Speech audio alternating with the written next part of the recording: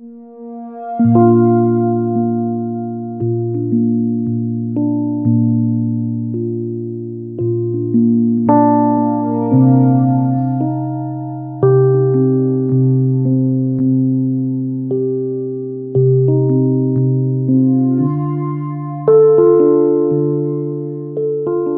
que esto significa es que hay un esfuerzo de tantas eh, instituciones, organismos, y personas en última instancia que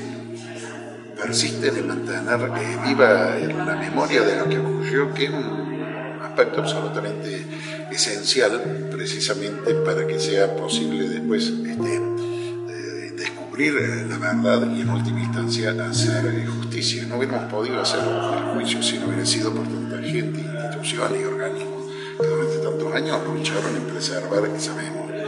Y esta, y esta tarea de, montar este tipo de, de, muestras de, quienes lo han hecho, de la universidad y de la Facultad de Filosofía de la Universidad Nacional, tiene un enorme valor, me parece, porque es lo que permite ir manteniendo vivo en el tiempo. El recuerdo del horror que pasó y que tuvimos la oportunidad de juzgar en el último juicio llamado